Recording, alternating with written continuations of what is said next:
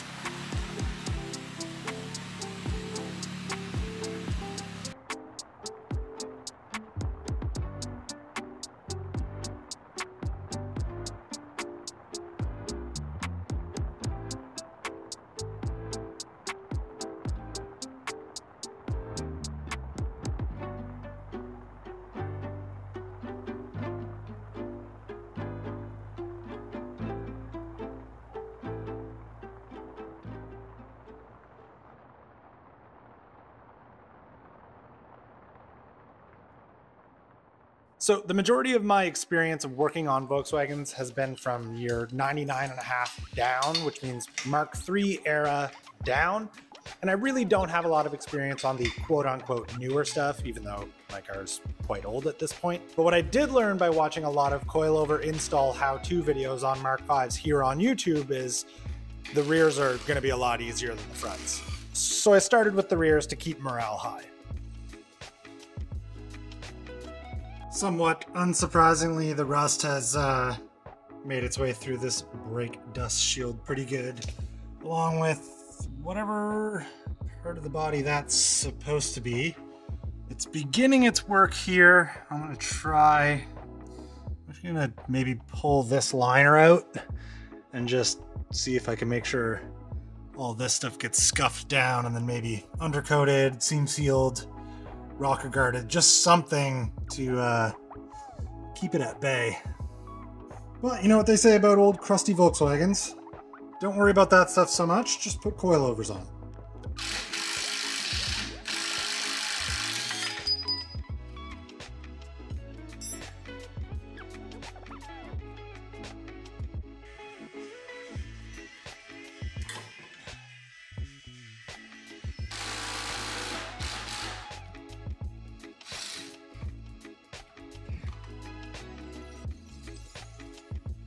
Okay, so the old suspension, this is the old spring, the old struts are here.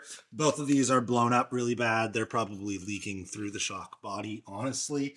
Um, Admittedly, it all came out better than I kind of expected it to. I thought I'd have to fight it like a lot harder or I would just give up. Didn't end up having to do that, so I'm pretty hyped about that. these struts, these springs, this is the front coils.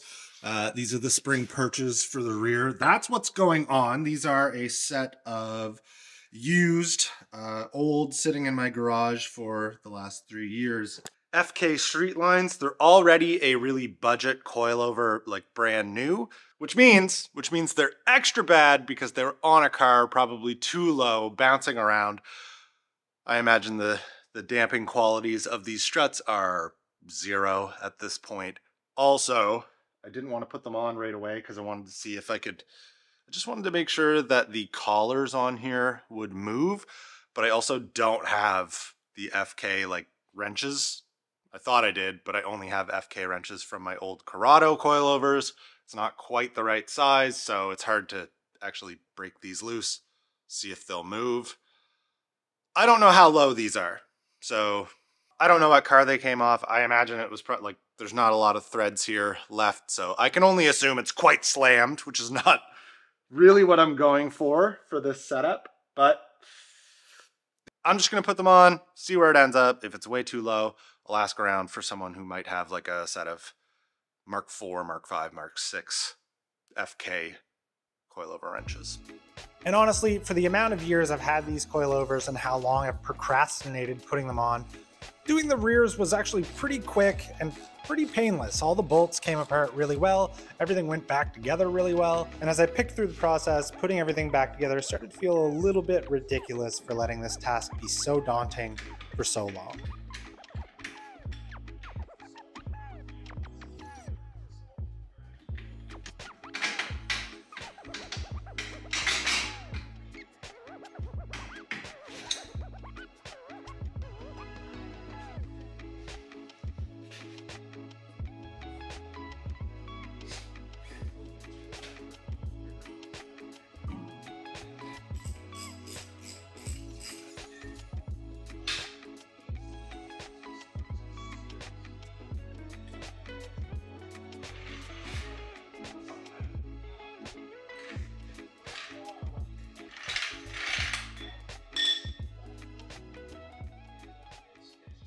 Not bad. Honestly, I was pretty surprised by the ride height. I thought it'd be a lot lower. I know springs and everything like to settle, but I, I guess I just sort of expected it to be a lot lower than it was on initial install. Of course, they will settle down a little bit, but uh, yeah, sort of surprising. Right, so starting up at the front now, when I was talking about wanting to try and throw these coilovers on while we were doing the exhaust as well with Dave at CO Motorsports, Dave was less hyped on the idea because he knew how much time doing the exhaust was going to take and what the probability of problems occurring while doing this as well would be.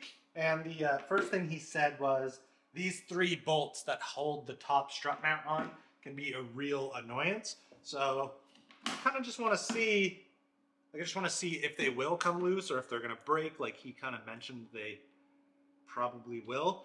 Um, problem is, as I just learned, the wiper arms are pretty stuck on here.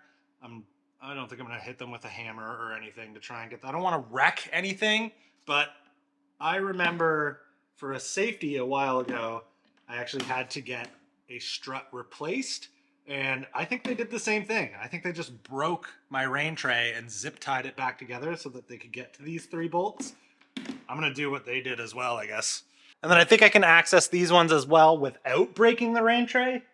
But uh, I really, I really want to get in there and clean up because there's a ton of old leaves and it's really, really gross. So at some point I want to get a wiper arm puller so that I can get the arms out so I can take the rain tray off so I can get in there and clean all that. It's like composting leaves in there right now. Those leaves have been in there for uh, five, six years.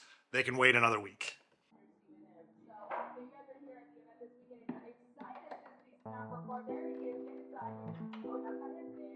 Okay, happy to report these ones cracked loose, no problem. I'm gonna try those ones now.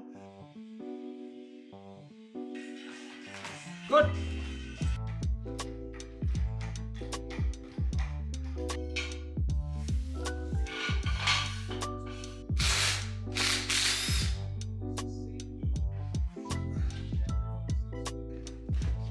Come on, stupid bolt. This bolt put up a good fight, but uh, persistence, persistence got me through. Should really get a new one. No way this strut's coming out. Okay, that only took uh, one trip to the store to get an axle bolt, pulling the axle out, putting it on the wrong side, taking the ball joint out so that I could move the axle over to get enough droop to get the original strut out.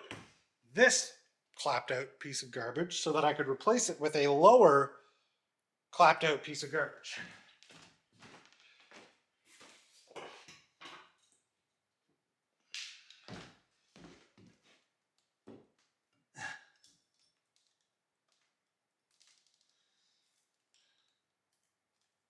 Now I'm going to paint this in anti-seize.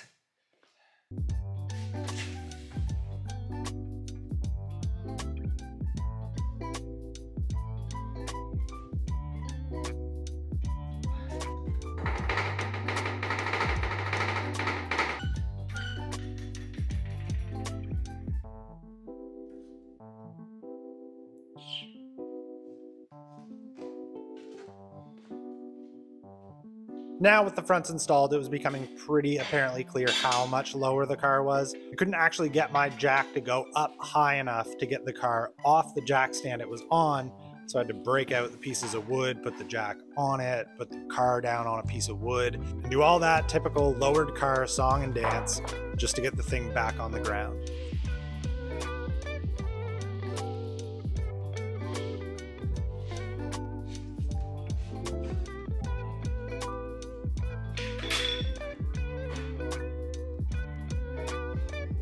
Now it's together on its coilovers and it looks like this.